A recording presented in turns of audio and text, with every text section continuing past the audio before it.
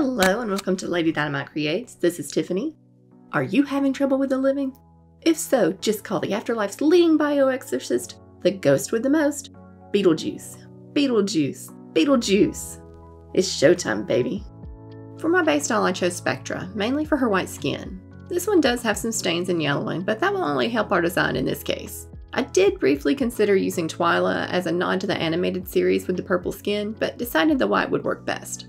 I've prepped her in my normal fashion by buzzing her hair down to a short stubble with my electric razor, then dropping her into a cup of boiled water to soften the vinyl. This makes it much easier to pop her head off. We want to avoid breaking that neck peg. Once the head is off, I can use my screwdriver to scrape down the plugs from inside her head and extract the gluey mess with some needle nose pliers.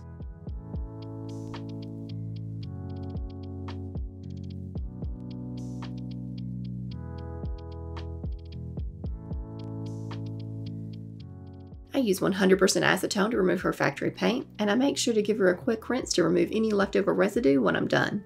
I'm doing a yarn reroot this time around, and because of the texture I'm after, I'm going to be plugging the unraveled strands directly into the doll's head rather than brushing and flat ironing them out first. When the strands separated, I hold the middle of a strand across my finger and then I slide it onto the needle tool. I can then plunge it in, making sure to keep the needle head perpendicular to the hairline.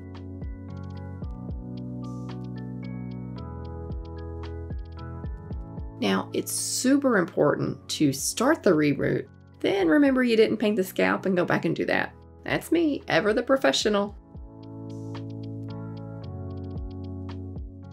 Here's the reroot all done, and since it's a full yarn reroot, I didn't root every hole. It makes the hair way too poofy and thick. I secure the plugs with some liquid fusion glue, then leave it to set for 24 hours. The next day I comb it out with my pet hairbrush. It gives it the perfect frizzy crimp texture. I'm careful to not brush too hard at the roots because I want that texture to be more pronounced there.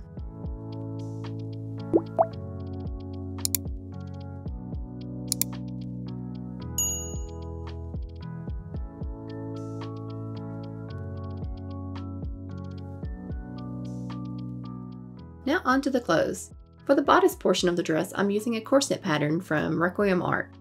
I first start by sewing all of the side seams together. I wound up not using those two end panels. I don't know if my printer scale was off, but I didn't need them.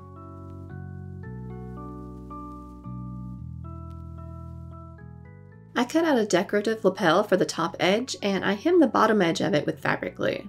I cut notches so that the pointed edges would be crisp and I used my flat iron to help activate the glue for a better hold. I layer the bodice on top of the lapel with both right sides facing up and I sew it into place. I trimmed the excess seam, then I folded over to form the decorative edge, and I used my flat iron to help it stay in place.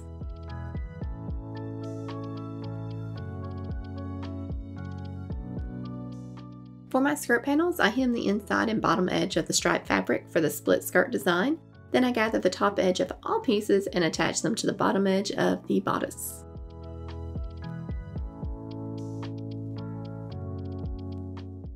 Bottom edge of the green is going to get a distressed look with the help of a lighter, soldering iron, and some watered down acrylic paint. I do have a cheap soldering iron that is designated as my I'm going to do questionable things with you because I don't want to ruin my good one.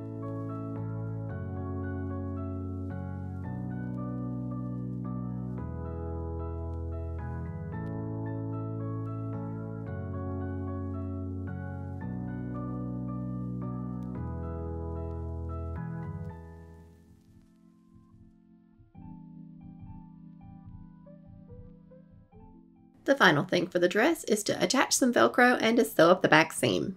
This dress is super cute and I feel like it's the perfect feminine version of Beetlejuice's suit. I'm not going to make custom shoes, I have no time. Makes a custom design anyway. I guess this is going to be my Patreon reward for September, so be on the lookout. I got these printed and painted with Vallejo model paint in green, black, and white. Speaking of patrons, I wanted to take a moment to thank all of my friends over on Patreon. I'm so grateful to them and their support of my art. Angel Bookwalter, B. Burnett, Deborah Sweeney, Galena Harsian, Stephanie L., Manders, Hanu Made This, Delicious, Amber S., Awkward Burb, X Mini Studio, Camille, Dancing Johari, Kitsy, K. Whipell, and the Oak Magpie. The shoes turned out so good, and I love the little sandworm pattern heels. You know the scene where Beetlejuice has the carousel hat and his arms are curled up before turning into hammers? You see where this is going. I want to make her some long curled up arms. It's the perfect solution to a doll with no hands. I'm taking Cosclay and running it through my pasta maker to make it an even thickness, then taking a length of wire and placing it down on top and cutting out the shape. You can see my first trial actually had little 3D printed pegs, but they proved to be too brittle and I had to switch over to a complete wire structure. The wire inside allows these to be completely posable. I layer a bit of clay on top, then clean up the shape and bake according to the directions. Once cooled, I can get them painted.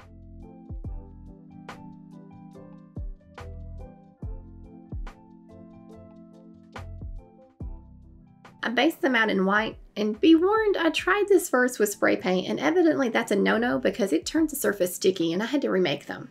I then mark out 1cm sections and paint them black.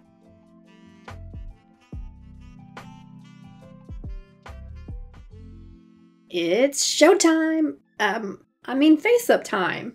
Here are all the products that I've used. A full list is available in the description box below. I prime her with three coats of Mr. Super Clear UV Cut Flat and allow each layer to cure about 30 minutes. This creates a paper-like texture that allows the surface of the vinyl to be drawn on. I apply a new layer of sealant anytime I want to save my work or when my pencils will no longer build up color. I have a spray can icon in the top corner to indicate whenever I spray a new layer. I think the thing I get asked the most is what do I use to paint the face, so I thought I'd take the opportunity to talk a bit in depth about the brands that I use. I have three main brands of watercolor pencils that I like to use, Caran d'Ache Supercolor, Faber-Castell Art Grip Aquarelle, and Derwent Inktense. And I find that each one is good for different things. I know these higher grade pencils are expensive, but trust me when I say it's worth the investment. I started out using a lower end brand, and while they worked okay, the colors were not as vibrant, and it took much longer to build up colors, which resulted in using a lot more sealant. And let's face it, Mr. Superclear isn't cheap, and you constantly have to buy it. Pencils last so much longer, so really, it's mostly a one time investment. You might need to buy single pencils periodically to replace the ones you use most. It makes more sense to save for good pencils and then have to buy fewer cans of sealant. I've definitely wasted so much money making this mistake because all of the lower quality supplies that I've bought had to be replaced.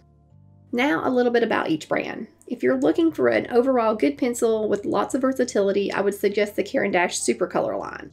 They have a medium hardness, so you can still get a fine tip with thin lines, and they're also highly pigmented with great color buildup. It's also arguably the best white watercolor pencil I've ever used because we all know how hard it is to build that up. The Faber-Castell Art Grip Aquarelle has a very hard core, these have unfortunately been discontinued, and the replacement, the Goldfaber Aqua, are absolute trash. I would suggest the Faber Castell Albrecht Dürer line instead. The harder core on these pencils makes drawing fine lines and hair so easy. It's what I usually use to sketch on eyes because when you're drawing something so small, the thickness of a line can mean your doll's eyes are different shapes.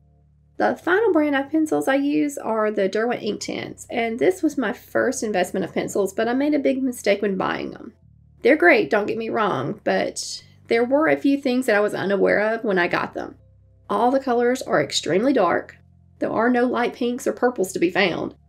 They're also super soft, which makes getting a sharp point hard. Not impossible, but hard, and that also affects how fine your lines are. On the plus side, this is probably the darkest colors you're going to get without going with paint. It definitely allows me to push the contrast. When I bought them, I thought these would be the only pencils I would need, and this is where my regret comes in. I bought the 72 pack. I only use about two of these colors regularly, and I would say I haven't touched 70% of the rest of the pencils. I should have gotten a much smaller pack. Well, anyway, I hope this info can help you pick the perfect pencils for yourself and that you found it useful.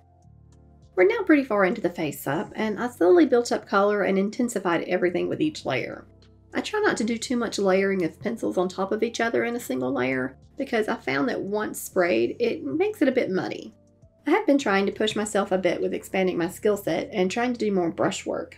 I'm pretty shaky, but I've been improving slowly but surely.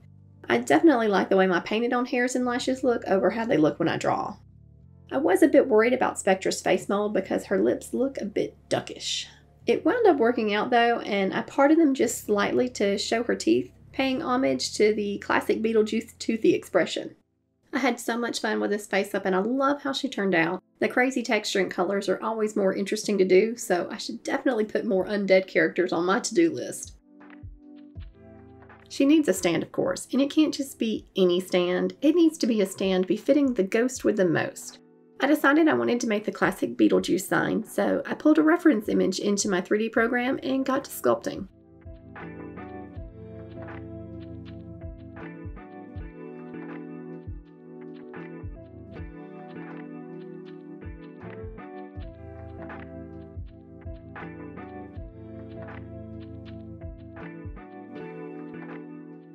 Once I was finished sculpting, I got the sign and a tombstone printed on the HeyGears Reflex. They turned out beautiful, and once cleaned and cured, I get to work sanding away any support marks. Here you can see the final design for the sign. I do have plans for this to be lit, so I added holes for LED lights, as well as a channel for the wiring. The tombstone was a model I purchased on Cult, so I will leave a link for it in the description box. Now, you've seen my technique for painting stone, and it's pretty much the same as the dirt you'll see later, so I'm going to spare you the details this time and just jump straight to attaching it to the stand. I marked on the base where the tombstone will be, and I drilled two holes that correspond with two holes in the tombstone itself. I take a piece of armature wire and I form a prong and then push it up into the holes and secure it with a bit of hot glue. I then apply glue to the top and secure the tombstone onto the base. This wooden texture just will not do, so I wet the base and begin building up ground with foam clay. I find wetting the clay allows it to stick better and it's easier to smooth this way too. While the clay is still wet, I push rocks and bits of sand into the clay. Once everything's dried, I'm going to secure it with a layer of Mod Podge. Before I add on the sign, I do want to paint the dirt. I base it all out in dark brown paint, then I dry brush different shades of lighter brown on top. I remove excess paint from my brush so that it's not too heavy handed and I brush it at an angle. It's best to use a really crappy, scraggly brush. I find that they create some of the best textures.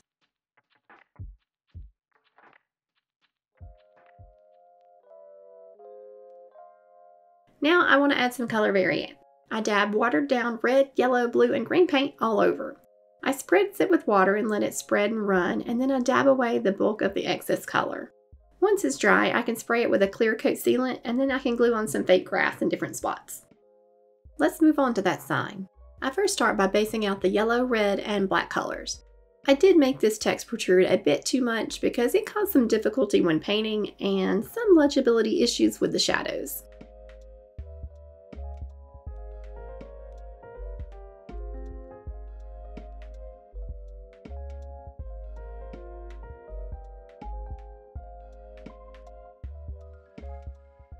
With all the base colors finished, I start aging it.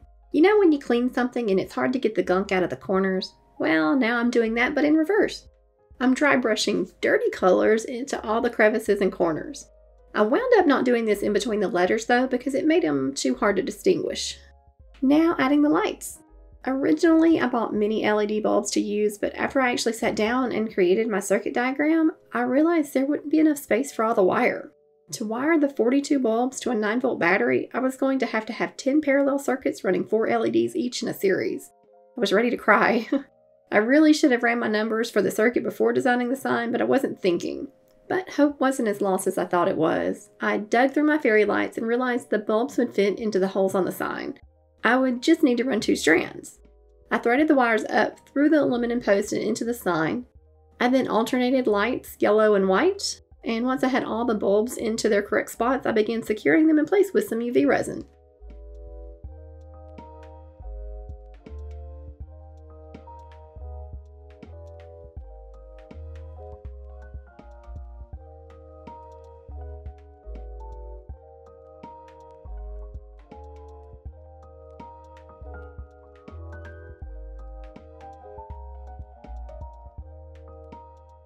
When all the bulbs were secure, I cleaned up the wires and twisted them to fit into the channel I made, which I might add barely fit into the design space as it was.